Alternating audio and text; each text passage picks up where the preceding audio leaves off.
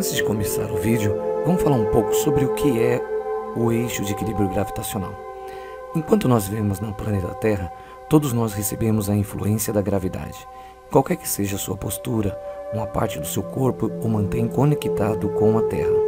Por exemplo, na postura de pé, nossas pernas sustentam o nosso corpo e nossas pernas formam o eixo. Este eixo denomina-se de eixo de equilíbrio gravitacional da postura de pé. Tudo que existe na Terra tem gravidade, e essa gravidade coincide com o eixo que passa pelo centro da Terra, eixo gravitacional. Quando o eixo de equilíbrio gravitacional coincide com o eixo gravitacional dentro da tolerância, a mente e o corpo estão num estado estável. Porém, se o eixo de equilíbrio gravitacional se desvia com muita facilidade, esse desvio provoca diversos problemas. Na figura abaixo você pode ver uma pessoa dentro da tolerância e que está estável, e outra pessoa com alguns sintomas que está é, fora da tolerância. Agora vamos falar um pouco sobre como é o ajuste do eixo de equilíbrio gravitacional. Isso como, como que você descobre? inclinando o corpo. Há fenômenos em que a inclinação do corpo para alguma direção melhora os sintomas. Isto acontece porque a inclinação faz com que o eixo de equilíbrio gravitacional coincida com o eixo gravitacional.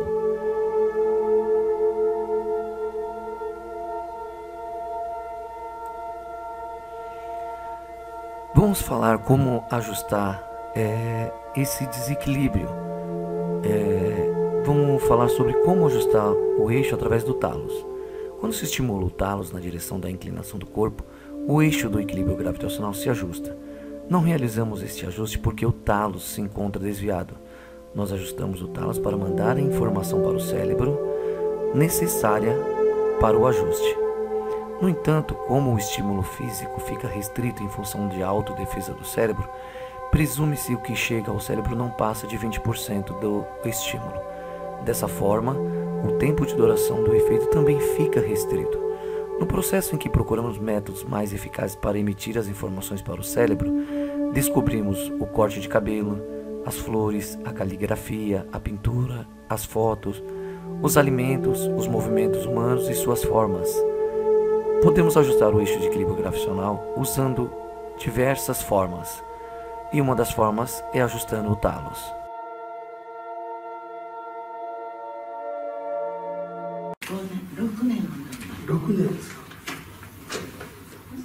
どんな感じでそうなっていたんでしょう突然長くなくなってパーキンソンの治療をずっと続けてそれは病院に行って。病院に行って。でだんだんだんだんそれが薬があの増えてきてまあぶっちゃけた話その副作用がどんどんどんどん出てくるようになったんですその特に盆過ぎぐらいからそのまたきつくなってきたんで薬をまた増やしてます最近って。いうのは今年の今年の、はい、その前まだマシまだマシだった。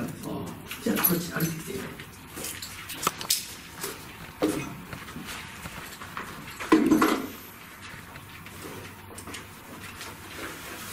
今ちゃんと歩い。てるいやどういう感じ足が重たい感じいてるくっついてる感じ胸がこうしてで歩いて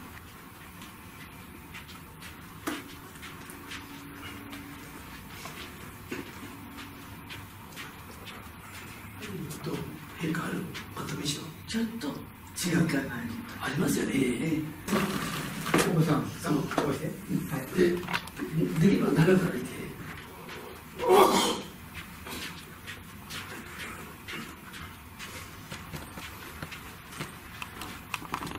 どう？ちょっと軽くなる。あ軽くなる？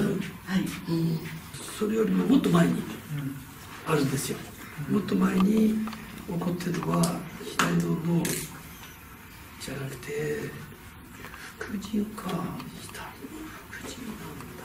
この状態が副腎と左の脳から来てるということなんで、うん、YouTube で手術で説明してるのは左の脳の問題は、うん。両足でできる軸があるんですよ、両足でできる軸が自分の重力バランス軸っていうんですけど、これは地球の軸があって、自分の重力バランス軸と一致していれば問題ないんですけどこれがずれずれることで問題を起こすんですよ、ん。でそれが今の場合に左の脳にその問題が起こっている、そして左の副腎に問題が起こっている、うん。ということで左の脳の軸、そして、えー副腎の軸。それから心臓です、の軸が今問題があるんだと、うん。で左の脳のそ軸のズレを直す方法は体をある方向に倒すんですよ、うん。倒すことで軸が一致するんですけども、左の脳は右前5度ご主人と同じ。右前5度そして心臓は左45度だって。左45度。じゃあ来てちょっと今ねあ。お薬の時間が過ぎたんです。あでどうなると？固まっちゃったあ固まってるわけね。うんじゃあそれでい。い。ですよそれでい。きましょう薬飲むかなはい。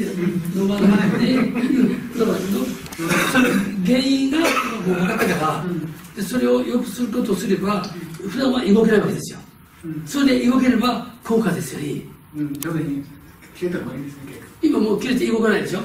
それそうい。うふうになってる原因がもう分かったんですよ。ええだからそれを良くしようと。そうすると動けるはずですよ。で、それをやろうと。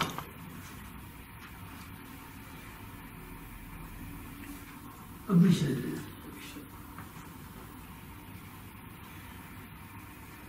で、歩けるわけ。歩けませんちょっとしかうん、そういうことね。うん、じゃあいいです。座ってくださ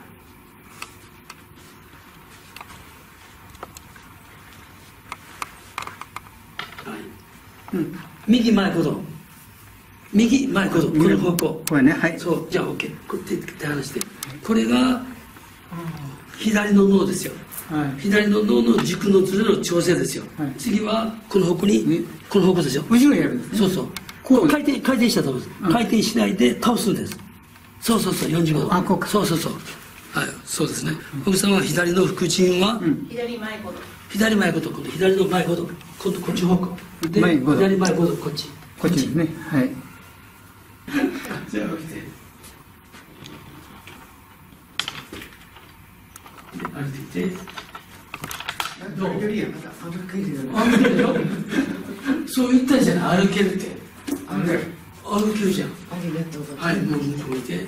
あれ歩けるでしょ？すいや固まっちゃったんですけどね固まってる原因をよくしたから。もうほっとやったらこれ膝からこう上がることもできないんです切れたらでも歩けるでしょ？おかしいな歩けるだから歩けなくなる原因があるわけ。それが脳と、それから心臓と副腎ですよ。はいそれが原因で、だから歩けなくなるんですよ。それをよくしたから、どうも歩けるんですよあ。りがとうございましたうん薬飲んだ時と同じ感じ？そうですこう、こうこうしてかかけたことある？ないでしょ？ないよくこっち見て、できるんですよ。やってみて。こっちこっち、そうそう。そうそうそう。できるんですよ。で、向こう回って、で走って、そう、ジョギング、もっと足上げて、もっと足上げて、もっと上げて、もっと上げて。そうそう。今までね足吸ってあげてもう足上がるんだから、上がるあああこうにして、ジョギングちょっと練習するの。そうそうそう。もできるでしょ？嬉しいうん、でできるんです 実際言うてねはい。あのービデオ見せてもらったりしてうんこれ信じられなかったんですけどね。びっくりしました。お母さんどうですか？今日はね出席できてよかったです。これで頑張りたいと思います。だから人の役に立つことをしたい